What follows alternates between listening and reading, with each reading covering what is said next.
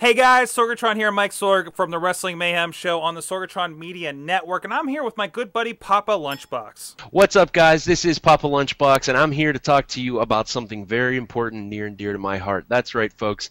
Tequila, Patron tequila, oh, no, the best no, no, tequila. LB, LB, no, no, LB. We're not talking about tequila. We're talking about Patreon, Patreon.com, the ah. great service where the the listeners, the the patrons of our artwork, if you can call this art at the Wrestling Mayhem Show, can it's can artwork. can give and help and, and and become a part of the show and help it become bigger and better. So, well, Sorg, I've always said if the Mayhem needs to do anything, anything in the world, it's get bigger. Can help LB here uh, get a better connection, for instance. That is a tall, tall order, but you know what? I have faith in you, Mayhemers. One of the many long-time things we have not gotten to uh, because we don't have any money coming to the show. This is all a, pa- uh, a work of passion here. I mean, look, we got these big CRT monitors that we're using and everything like that. Uh, we had two computers die on us tonight. We're trying to upgrade all this kind of stuff.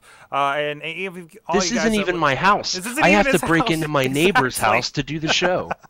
And, if you do at least a dollar, uh, we're uh, actually going to be doing a thank you list uh, at the beginning of the show in the mailbag segment. So you will be recognized as a helper for the show, and uh, we're going to be working on a bunch of other benefits beyond that. But just start with that one dollar, one dollar, uh, uh, uh, just just to just to give a little pittance.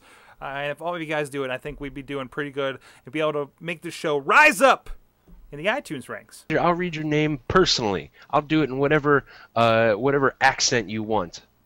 Excellent. And of course, patreon.com slash Wrestling Mayhem Show. Or if you're not even there already, we got a button over there at the top of WrestlingMayhemShow.com. Go check it out.